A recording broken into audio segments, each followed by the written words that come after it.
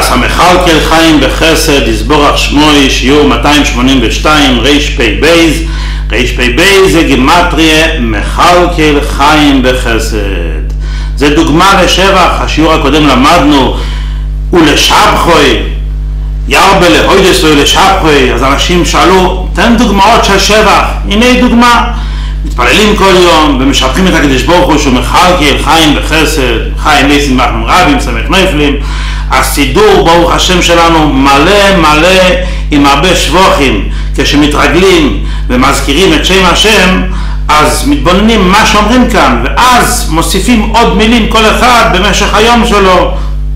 חלקל חיים בחסד חסדי השם.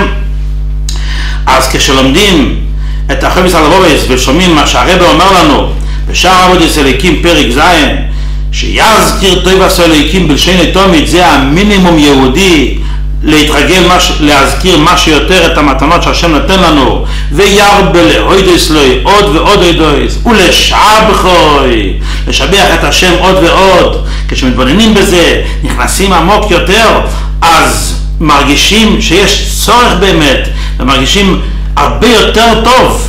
אדם מרגיש שהוא משבח את השם אז פתאום הוא מרגיש איזה שהוא קרוב לשם יתברך, הוא משבח אותו, מדבר איתו, אז על ידי זה זה מושפע עוד השפעות טובות. הנה הפסוק שאנחנו עומדים עכשיו מתחילת התהילים כשמגיעים ל-282 זה הפסוק בתחילת פרק חובייס בכו בוטחו אבויסנו בוטחו ותפלתמוי פסוק של ביטוחן מתחזקים בביטוחן אז ותפלתמוי זה מציל ממרין בישין וזה עוזר מאוד לכל העזרה שצריכים במשך החיים. יהודים באמת מגיעים לספר שמה שיותר מתבוננים בעוד אמונה בתוכנו ויותר באמת מקשיבים לסיפורים של נפלאי סבוירה אז זה מחזק אותו פתאום להתבונן עוד והם משבחים את הקדוש ברוך הוא אז מגלים עוד השגחה פרוטיס הנה השבוע היה יורצייט של הצדיק אבס עין י"ב כיסלב נו, ברוך השם, מתפרסם עוד ועוד סיפורי נפלאי סבוירה, אנשים נותנים סעודות, אוכלים ושותים ולומדים את הטרס שלו. ברוך השם, נו, יהודי צדיק בלי ילדים, אז בכלל זה זכות ללמוד ספסוי של דובס בקבר. אז יש אנשים שאוכלים לטרס לשמוסי, יש אנשים שלומדים.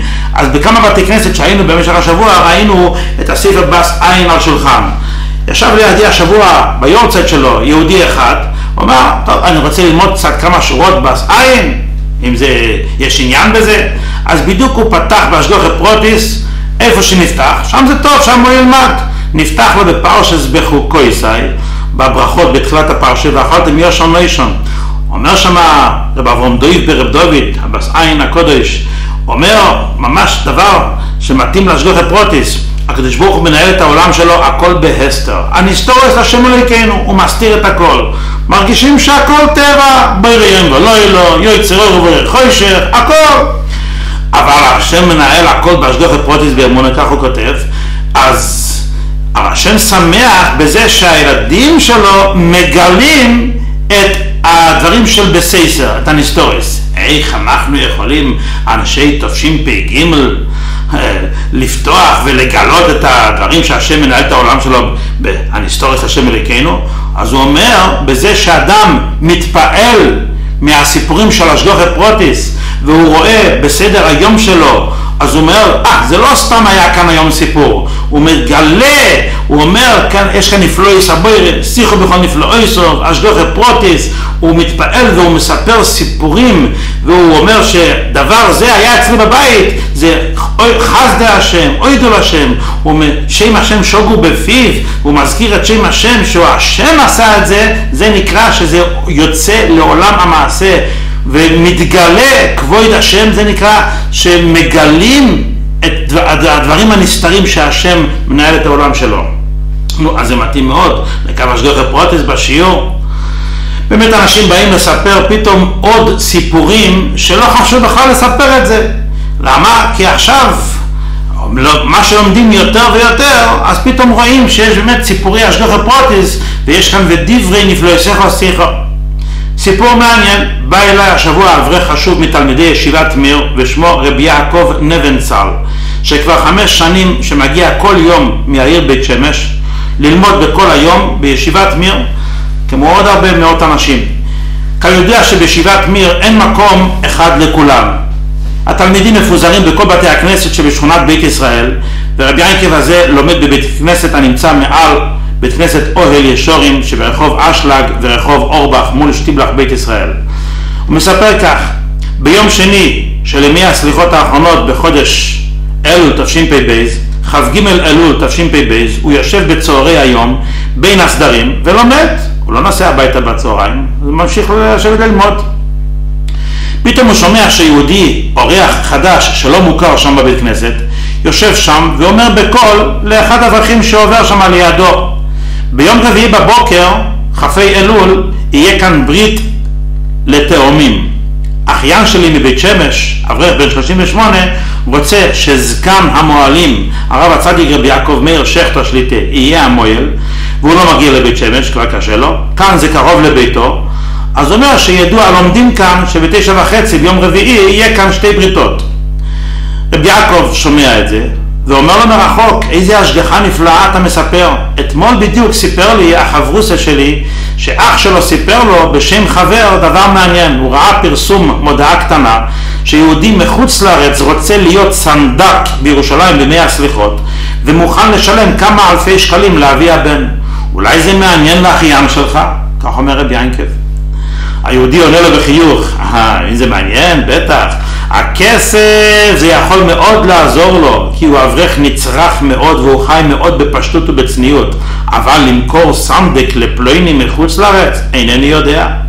על המקום הוא מתקשר לאחיין שלו, רבי יוסף, הבר שמחה, והוא מספר לו את הסיפור של ההשגחה העליונה. רבי יוסף אומר לדוד שלו תודה על העזרה, אבל צריכים לדעת מי הוא זה ואיזה הוא שרוצה להיות סנדק.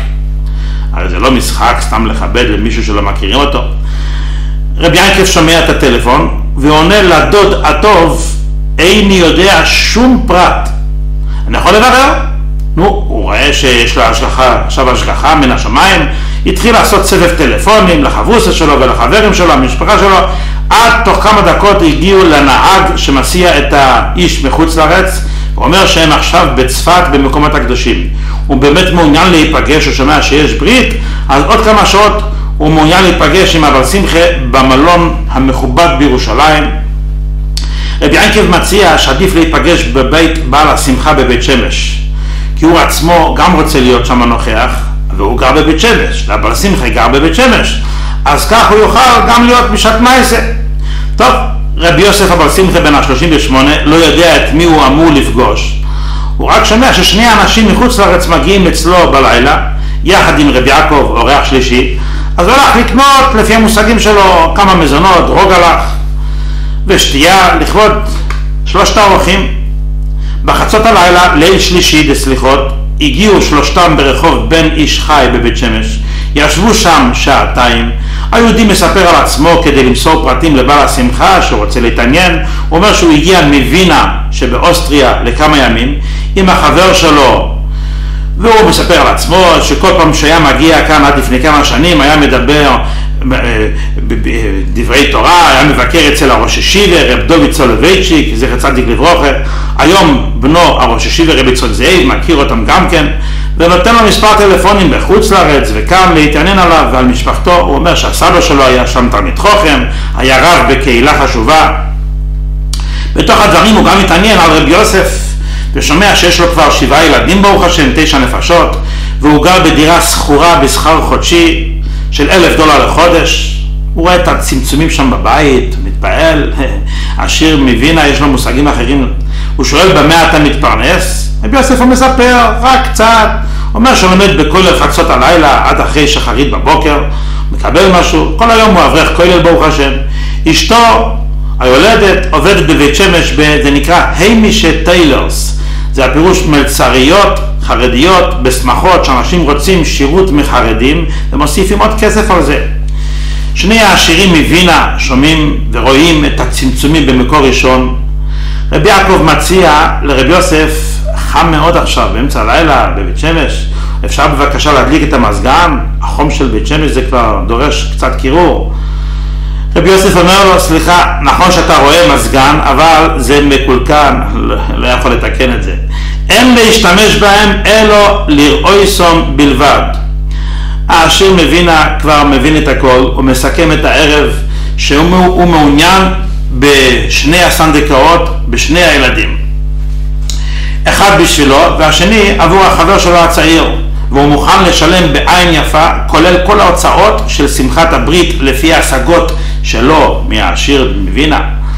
אך הוא חייב לדעת את זה אם כן או לא, מה שיותר מהר, כי הוא אמור לעזוב את הארץ מחר ביום שלישי בערב, ואם כן, אז הוא יצטרך להאריך את המלון ולדחות את הנסיעה.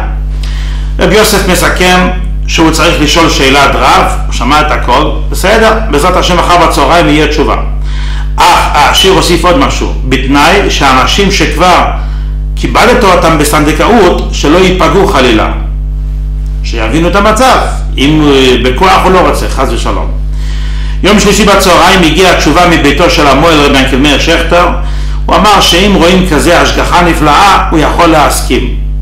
העשיר קיבל את ההודעה בשמחה, ורק שואל לרבי יוסף בטלפון איפה הברית, איפה אני צריך להגיע, הוא אומר לו, יום מחר ברביעי בבוקר בשכונת בית ישראל.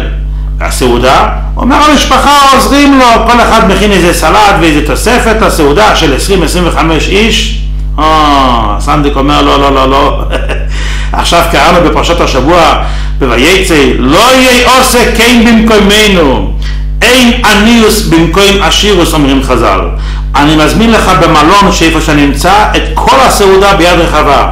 רבי יוסף עוצר ואומר לו לא, לא, לא, אני חייב איכשר בד"ץ של העדה החרדית, אי אפשר ככה. העשיר אומר לו, טוב, אני לא מתמצא בזה, אבל אני מבקש ממך, אני רוצה להיות בסעודה, אני והחבר שלי, תזמין סעודה של לפחות 50 דולר לכל מנה. תזמין עוד אנשים, אל תעשה בצמצום 20 איש. עוד חברים, ידידים, שכנים, שיבואו ללא הגבלה. אני גם אביא כמה חברים אולי. ויהי בבוקר, יום רביעי, כ"ה אלול, בשעה עשר, נתקיימו שתי הבריתות באולם אהבה סטוירו בשכונת קריית צאנז. הזמינו סעודה מכובדת, והעשיר בן ה-40 פלוס היה הסנדיק הראשון, חברו הצעיר באמצע גיל ה-20 היה הסנדיק השני. שני הסבים שנתכבדו, שנתכבדו בסנדקאות לכתחילה ויתרו להם בכל הלב, כי הם כבר היו סנדיק אצלהם בשני הבנים הראשונים. המוהל כמובן, כמדובר, היה רבי ינקל מאיר שכטר ובירך אותם אחרי הברית שיזכו לכל טוב לאורך חמים ושונים. העשירים התיישבו במזרח לסעודה מכובדת, נהנו מאוד, שרו זמירות. אחד האורחים נתכבד לדרוש לכבוד השמחה כמו שמקובל. אז הוא התחיל להודות לשם שהתאומים נולדו בשעה טובה ביום הגדול חי אלול של אצל החסידים זה מאוד יום גדול, יום הולדתו של מורן הבעל שם טוב והבריתות נתקיימו ביום השמיני, ביום הגדול של חופי אלול שלפי שיטה אחת זה יום בריאה סוהילום פתאום העשיר שומע את זה, הוא תופס את עצמו בהתרגשות עצומה. הוא אומר בעצם הוא גם נולד בחי אלול, הוא עצמו, זה יום הולדת שלי. אז אם ככה, יום זה יום הברית שלי, גם כן כ"ה אלול. איזה השגחה עליונה, השם סיבב לו, הוא מאוד התרגש. רבי ינקב נבנצל השתתף בברית כי הוא היה מתווך, אז הוא מספר כל זאת בהתרגשות, אמר, היה מאוד מאוד נעים. בסדר גמור. אחרי הברית, דבר ראשון, הסנדיק, העשיר מווינה, קיים את דברו, דבר ראשון הוא שילם ביד רחבה לבעל הברית את, עבור כל הסעודה. אחר כך הולך במקום צדדי, בחדר צדדי, ושני השירים ביחד, עם בעל הברית, רבי יוסף, ויחד עם, הוא עמד שם גם כן רבי יעקב. אז הוא מוציא מהכיס שלו שלוש חבילות, שבכל אחת מהן עשרת אלפים דולר מזומן.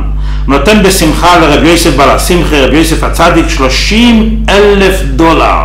זה עבור פעמיים סנדיק. עכשיו אומר לו, מה עם עגלת תאומים? הוא אומר, אשתי השיגה משהו, מגמח, יד שנייה, יד שלישית, לא, לא, לא, לא, לא, לא, לא, לא, לא, זה לא ככה. קח בבקשה עוד שלושת אלפים דולר עבור עגלת תאומים, וגם על שבוע בית החלמה. שיהיה בטלסטון, ליולדת, תנוח, בזמן החגים.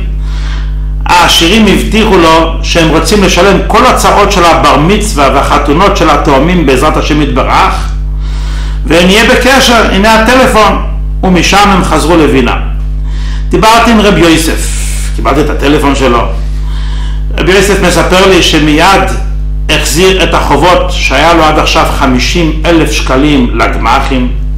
אחרי שבועיים הוא עשה בר מצווה לבנו השני, ללא הלוואות כמובן, ועוד צורכי הבית לתשעת הנפשות. רבי יוסף הוסיף לי היום בטלפון שהוא מודה להשם על קו אשגוכי פרוטיס שכל כך מחזק אותו ואת ביתו בכל כך הרבה חיזוק כבר כמה שנים. בכל המצבים הם אומרים כל פעם ריבונו של עולם אנחנו מקיימים את הכתוב אשליך על השם יהובכו אנא ממך אתה תקיים את המחצית השנייה של הפוסוק, והוא יכלכלכו, נכון שהשם יכלכל אותו, אבל עכשיו הוא זכה לראות בערב ראש השונה, בסוף תשפ"ב, הוא ראה עין בעין והוא יכלכלכו ביד רחבה מאוד. התעניינתי על רבי יוסף הצדיק הזה בבית שמש, שיש לי שם ילדים ועוד ידידים. שמעתי עליו שהוא אברך יקר וחשוב, אוי לכתום עם מפועל צדק, רוב היממה הוא נמצא שם בבית מדרש החשוב, אנשי הצדיק. זה בית מדרש שכמעט בערך על 200 איש לומדים ומתפללים שם, והוא נמצא שם עם עוד עשרות אברכים בכל החצות לילה.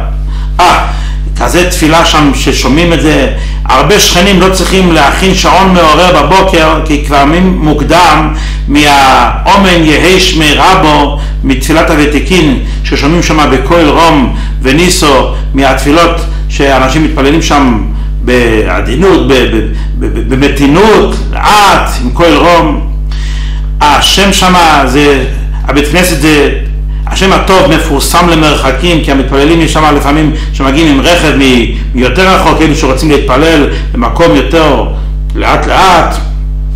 יש שם דבר מעניין, כל המתפללים הקבועים חתמו לא לדבר בשעות התפילות ולא סתם שמו את זה באיזה מקום. הכתב והחתימות תלוי ועומד בכניסה של הבית כנסת ורואים את החתימות של כולם. כולם מקבלים עליהם אוי מלכות שמיים בשמחו הלוואי שירבו כמותם בישראל, יש מה לקנא, כינס סופרים טעה בחוכמו, אין ספק שבית כנסת ובית מדרש כזה, קדוש, שיש שם תוירו ותפילות במשך כל היממה ללא גוזמה 24 שעות עגולות, ובפרט שבשעת התפילות יש שם שקט מוחלט, שקט בפנינוב, זה בטח מגין על כל הסביבה, מכל המרינבישים וכל הקטרוגים. ומידותוי ומרובו, שכל המלאכים הטובים שנבראים בכל יום תמיד, חדשים לבקרים, בוודאי ובוודאי, הם מליצי יושר על כל תושבי העיר בית שמש בכלל, ובפרט על אנשי המקום שהתברכו בכל מידו נכוינו, בבונה, חיה, מזוינה, רוויחה וסייעתא דשמיא, נחת מהצאצאים, מתוך בריאות השלמה וסוף הסמוכס אומן. אה, קידוש השם לספר סיפור כזה, יהודי שמתחזק בביטוחן, אז רואים, הואר פונכו וניבשהו. זה סיפור אחד שסיפרנו. הגיע עוד סיפור. סיפור שהשבוע השתתפנו בשיעור של הגאון הגדול רב מוישה ידלר שהוא נקרא הרב של הלכות שבת הוא אומר כמה שיעורים בשבוע ואחד השיעורים זה בבית כנסת בית יעקב מעל שטיבלך בית ישראל כל יום שלישי בערב בין 10 ל-11 שם שיעור בהלכות שבת. אז השבוע, בסוף השיעור, הוא סיפר איזה סיפור משפחתי. שמעתי את זה, אז אחרי השיעור נתן לי את הטלפון של אח שלו, רב שמואל גולדברג, תכף נשמע מה זה ידלר וגולדברג, אחרי הסיפור נספר מה זה המשפחות האלו, אחד קוראים לו ידלר, אחד גולדברג. בכל אופן, דיברתי עם רב שמואל, והוא סיפר לי את הסיפור בקצרה, הוא נתן לי את הטלפון של המספר, וכך הגענו לסיפור מאוד מעניין. יש יהודי רב שמואל, והוא מלמד בביתר, בתלמותירו, אדרס אליהו, והוא סויפר, והוא היה חבר טוב של הבן של רב שמואל גולדברג, שהוא אחד מה-45 הקדושים שעלו בשעורו השמיימו בליל ל"ג בעומר בחצי סלילו במירון בל"ג בעומר תשפ"א לפני שנה וחצי. אחד ההרוגים שם רב לוזור גולדברג, השם המלא רב לוזור מרדכי, יש לו כבר ילד שקוראים לו אלוזור מרדכי בן אלוזור מרדכי, לא ערך חמים בשונים טובים. אז הסבא רב שמואל גולדברג, זאת אומרת האבא של הקודש, אמר לי, כדאי לספר את הסיפור, ואם מישהו יתעורר, אז יהיה לטובת נשמת בנו רב אלעזר מordechai. רב שמואל מספר כך, הוא אומר שלא להגיד את המשפחה שלו, אבל הכרנו את הסבא שלו, סבא רבא, שהוא קרוי על שמו, רב שמואל וייסנשטרן, מבתי הונגרין ירושלים, יהודי של ירושלים של פעם, תלמיד חוכם וצדיק. רק דוגמה, יש בבתי נייטין בירושלים, אז שם היה בלקוירי כל השנים, הרבה שנים, אז זה מקבל עלייה, הולך לשלם. אומר שם הגבא, הרב מוישה נוחם פרידמן, שיחיה, שאפילו מוצאי יום כיפר, מיד אחרי הצום, מה עושה יהודי? נשאר בבית.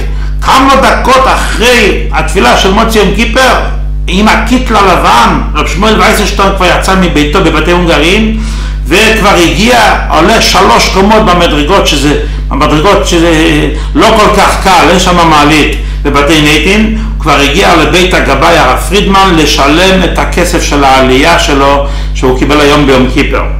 כי בלקוירי מקבל עלייה. זה יהודים של פעם. אז הרב שמואל האברך הזה, אז קרוי על שם הסבא של הרב שמואל וייסנשטיין שנפטר לפני 28 שנה. אז הוא מספר כך, ליל חוב בייס חשפן לפני שבועיים, תשפ"ג, הוא חולם חלום והוא רואה את הקדוש רב אלעזר גולדברג עם בגדי שבת, עם השטריימל, עם הבקט הפרחוני שלו, והוא מגיע אליו והוא מבקש ממנו שמכיוון שהוא חושב שהוא חייב דיו לסופר הרב אפרים זילברמן, בנו הצעיר של הצדיק הידוע רבי יצחק שלימי זילברמן מעיר עתיקה, והוא עצמו רב בבית כנסת שם, אז הוא, הוא חייב לאיזה דיו, מה זה חייב דיו? אז הוא רוצה שילך לבקש רב אפרים שיסלח לו כי יש לו איזה חוב קטן. בהתחלה הוא לא התייחס לחלום, בסדר, החלום עושה שובד הבירון, חייב דיו, מה הולך לרב להגיד לו? החלום חזר על עצמו במשך שבוע שלם מליל חוף בייס חשבן עד ליל חוף חס חשבן, כולל שבת ומוצי שבס. בלילה שמיני, ליל חוף חשבן, אז הקודש רב לוזו גולדברג כבר הגיע אליו בחלום והוא פשוט, יש לו טענות. הוא התחיל להרים את הקול שלו, זה כבר לא עם חיוך, הוא הוריד את השטריימל מהראש שלו, הוא פשוט, יש לו טענות. הוא אומר, לך זה דבר כזה קל, לי זה מאוד קשה להגיע ממרחקים. קשה לי להגיע, אני כבר מתחנן לפניך כבר שבוע שלם, תעשה לי את הטובה. אני מבקש ממך, תבקש מהרב אפרים זילבמן, שיסלח על הדיו שאני חייב לו. טוב, הוא לא ידע באמת במה מדובר.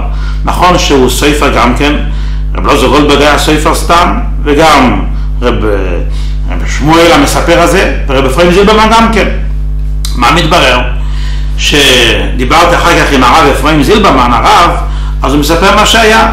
הוא הבוחן בתלמוד שם באדרס אליהו. פעם בשבוע, ביום שישי הוא מגיע.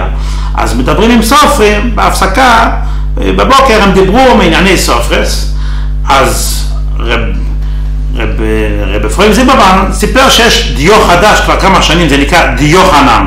יש אחד דיו חנן מטבריה שהוא מייצר כמה סוגי דיו, חמש סוגים, אז הוא קרא לעצמו דיו חנן, ככה שיהיה מילה אחת. בכל אופן, יש סופרים שמאוד מרוצים מזה, והוא מרוצה מזה, הרב זילברמן, אז הוא הציע לרב לוזו גולדברג, תנסה את זה, מציע לו הצעה טובה.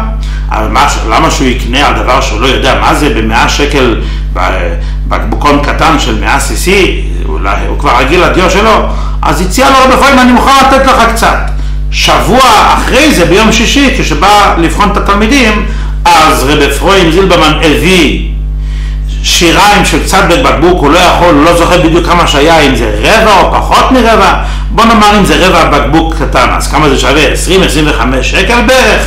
אז מדגיש רב אפרים שהוא בטוח שהוא נתן לו את זה מתנה, הוא לא חשב בכלל שהוא נותן לו את זה הלוואה או שהוא מבקש כסף על זה, לבריאות, חבר, סופר, בסדר, שיהנה מזה. אבל כמה שהבינו בחלום שרב לוזו גולדברג הוא היה דייקן כזה ואדם מסודר, הוא לא הלך לבקש מתנות וכל דבר הוא ידע בדיוק בחדר ובבית שלו, הוא אדם מסודר, כל דבר על מקומו. אז בכוונה שלו, בראש שלו היה מחשבה כזאת שהוא לוקח את זה בעצם לנסות את זה, אם זה יהיה טוב, אז יבקש מהרב זילברמן תקנה לי גם כן בקבוק וימשיך לכתוב את זה.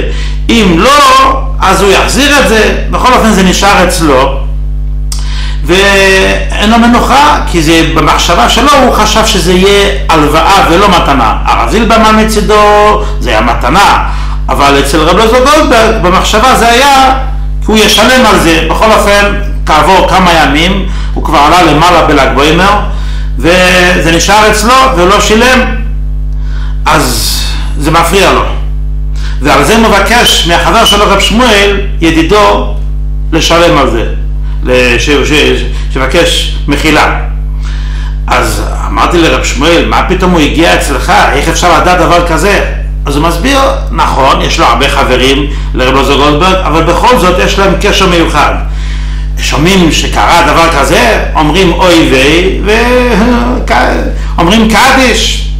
אבל הוא קיבל על עצמו, האברך היקר הזה, רב שמואל, ידיד כזה, עלה למעלה בריח בוימר, אז הוא קיבל על עצמו ללמוד משניות עבור הנשמה. אז נכון שכלל ישראל רגילים ללמוד שלושים, על הורים, אם זה ילד מסור תלמיד חוכם, לומד כל השנה.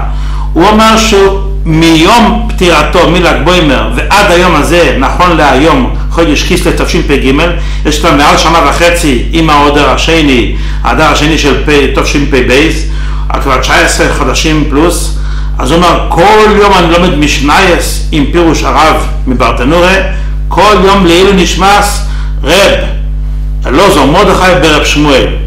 הוא כבר גמר שישו סדרי מישנו עם הפירוש של הרב, והוא עדיין לא מפסיק, הוא ממשיך הלאה. יותר ממקובל, ילדים אצל הורים לומדים עד שנה. הוא ממשיך הלאה ללמוד, כל יום הוא זוכר ממנו. אז כנראה מן השמיים, חיבור כזה שהוא מרים אותו כל יום עלייה, נשומה, שישו סדרי מישנו, אה, ילד, בן שעושה את זה על הורים שלו, זה כבר נקרא צדיק. אדם זר, חבר, שילמד בכזה מסירות כבר מעל שנה וחצי, אז כנראה מן השמיים זיכו אותו שהוא יגיע אצלו, והוא אמר שבהתחלה הוא לא התייחס כל כך. אז הוא מספר על עצמו שהוא התבייש להגיע לרב, הוא אומר לי שהוא נהיה אדום כמו סלק. דיברתי מקודם עם רבי פרוים זילברמן, אומר זה נכון, הוא ניגש אליי למחרת בחופכי סחש לנחרי השיעור, בלילה שהרב אומר להם, בבית כנסת שם, אז הוא אומר זה נכון, כן, הוא נהיה אדום והוא התבייש, הוא אומר בשקט, בצנעה לרב, הוא מספר, אין לי ברירה, אבל אני, אני מפחד ללכת לישון, מישהו מטריד אותי, רב לוזו גולדברג הזה כבר אה, שמונה פעמים, הוא סיפר את הדבר, אומר רב אפרים, נכון, אני זוכר מהדיו, הבאתי לו דיו, אבל אני בטוח מאה אחוז שנתתי לו את זה מתנה. לא חשבתי על רגע שהוא ישלם לי את, את הכמה שקלים. חבר, נותנים, קח את הדיו. אבל כנראה צדיקים גדולים במסרסם, הוא במחשבה, היה לו כדי כן להחזיר את זה, אז הוא כבר מחזיק שמה. אז על המקום, הרב זילברמן, הוא לקח כמה אברכים מהשיעור, הוא אומר בוא, א', ב', ג', שלושה אנשים שישמעו מה שקורה כאן, והוא אומר, הרייני, מויכל, מחילו, גמורו, לאלעזר מרדכי ברב שמואל, הוא לא חייב לי שום דבר, מתון לגמורו, ומוכו לוי, מוכו לוי, מוכו לוי, יש עדים בדבר הזה, וזהו זה, נגמר הסיפור. כמובן, שמעתי את זה מהכלי ראשון, אז התייעצתי, היום דיברתי עם כמה אנשים חשובים, מבוגרים, כן לספר, לא לספר, יש אנשים שצוחקים מחלומות, נכון? לא כל פעם מספרים חלומות, אבל אם שומעים דבר כזה, והאבא בעצמו, רב שמואל גולדברג שליטה, הוא מבקש לספר את הסיפור כדי שיהיה לטובת הנשמה, אם יהיה איזה משהו התעוררות, כל אחד יודע לבד טוב מאוד מה אפשר ללמוד מדבר כזה, שיש סייעתא דשמיא, אשגוחי פרוטיס, אז באמת שיהיה לעילוי לשמוע סוי. יותר זהירוס בבין אדם לחברו, בין אדם למוקוין, כל אחד יודע בדיוק מה ללמוד מזה. מה זה המקור של גולדברג ידלר? ידלר? אז באמת למשפחה כזו מגיע להם שייכנסו בהיסטוריה שלהם בשיעור של שער הביטוחן שעכשיו הגענו לפסוק של 282 מתחילת התהילים בכו בוטחו אבויסנו בוטחו ותפלתמוי כי הביטוחן הציל אותם ההיסטוריה שלהם מה זה אומר? הסבא רבא שלהם רבי צחוק זאב קראו לו ב... בחוץ לארץ מלשקוביץ, והוא היה מהעיירה מיאגל, היה סמוך לווילנה. התחתן ועבר לאורודנה, וסבלו שם מאוד מהגויים. שם היה שחוק יצר, רוצים לעשות צרות ליהודים, ומי שיש לו פאות ארוכות, אז החוק אומר שמותר באמצע הרחוב ללא התראה לגזוז פאה אחת. ורצו בכוונה רק להוריד פאה אחת, והשני, הפאה השנייה, שהיהודי בעצמו יוריד את זה. ככה זה יהיה יותר השפלה ולא יגדלו את זה יותר. אז אנשים קיבלו את זה, אנשים הרימו את הפאה השנייה תחת הכיפה, סבלו מזה. הרבי צחוק זאב הזה, מלשקוביץ, אז הוא היה אברך באמצע הגיל העשרים, ויום אחד ניגש אל אחד רושם מרושק גוי שגץ, והוא הוריד לו פאה, גוזר לו פאה. במקום להישבר ולהיעלב, הוא החליט, מגיע הביתה, כאן אי אפשר להמשיך לגור, מי יודע מה שיהיה כאן. צריכים לעלות לארץ ישראל ולגור בירושלים עיר הקודש. אז הרבנים אמרו לו, אסור לעשות את זה. אתה מוכן לצום? אתה ואשתך וילדים קטנים? יש לו כבר שני ילדים והוא אימץ ילדה יתומה גם כן. מה אתה עושה? מה, מה, מה פירוש לצום? אמרו לו בירושלים פשוט צמים, כמעט ואין מה לאכול. מדובר עכשיו לפני 156 שנים, תרח"ז. אז בסדר, אז הוא ענה לרבנים שמה, רב נוחם שמש, והיה שם עוד רב, רב נוחם רייצס, מגאוני אורודנה, והוא אמר להם, אני בטוח, יש לי ביטוח בבויר אילום, שהוא זונס אילום כולוי, והוא לא ייתן לנו למות מרעב, וכמו שהוא זון מקרני רעימת בית סכינים, הוא יפרנס גם אותנו, ואני כן מוכן ומזומן לעלות, אפילו שיש שם צמצום. הרבנים שמעו את זה, אמרו לו, אם ככה אתה חוזק בביטוחן, יש לך מצווה לעלות, אתה תהיה שליח שלנו. וכך הוא עלה בכוח הביטוחן. נפרד מאבא שלו רבי יהודה דוד, מהסבא שלו רבי יוחנן, שרבי יוחנן היה בן רב חיים זליטונר, שהוא היה תלמיד הגויין מווילנה.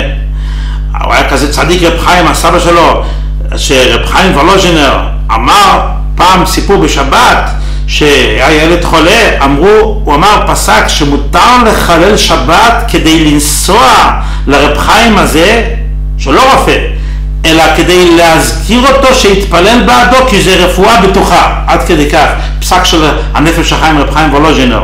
לחלל שבס כדי שהצדיק הזה יתפלל, כי זה בטוח יעזור. אז כך הוא עלה, הגיעו בספינה, אונייה שנוסעת לארץ ישראל, אז אנשים מבוגרים שבאים כאן כדי להתאמן כאן, התפלאו איך נוסע, הורים עם ילדים קטנים, איך אפשר לגור כאן? אמרו לו, מה אתה עושה? הוא אמר, לא, אני איש מיוחד, יש לי אבא עשיר גדול מיוחד בארץ ישראל, הוא יקבל אותי. אה, הם קנו את זה, שמעו את זה, או, אבא עשיר, כיבדו אותו. אז במשך הנסיעה אמרו לאנשים בענייה, תעשה לנו פרוטקציה אצל אבא שלך. שגם כן נזכור אותנו עם עושרי כזה גדול. בסדר גמור, הגיעו בנמל יפו, שואלים אותו, איפה אבא שלך, איי אביך שדיברת? הוא מראה להם עם האצבע לשמיים, הבית למעלה וראה, הנה הוא אלוקים בשמיים ממעל, הוא זון ומפרנס את כולם, הוא יפרנסנו ברווח ובכובד, הוא חיזק את האנשים בביטוחם, האבא שלי זה גם האבא שלכם, אה, גוואלדיק, הוא נפגש כאן עם רבי שליק דיסקין, אז מריל דיסקין קרא לו יד לרוב, הוא הגיע מיד. אז כך נהיה השם שלו מלשקוביץ, זה נהפך לידלר, אבל הוא עצמו קרא לעצמו גולדברג. מה זה גולדברג? ביידיש זה ערי זהב, זה גולדברג. אז הוא קרא לעצמו גולדברג, וכאן, בגלל שאמרו לו יד לרוב, אז התחילו לקרוא לו גם כן ידלר וגולדברג, נולד לו אחר כך הצדיק הירושלמי המגיד רבן ציין ידלר, הוא קרא לעצמו ידלר, וגם כן בנות המשפחות רבינוביץ' ו... ושיפמן וגולומב, שקוראים להם גם עם התוספת של ידלר כדי לזכור שהיה להם סבא צדיק כזה, רב יצחוק זהי, שהוא מחבר הפירוש תפארס ציון על כל המשנייס וגם על מדרושים. נו, אז כאן הוא זכה, המשפחה נשארו שם אחר כך, אבל ממשפחתו רבבות נכדים צדיקים בירושלים, אה, עד היום הזה, נו, אז כאן מתאים את הפוסק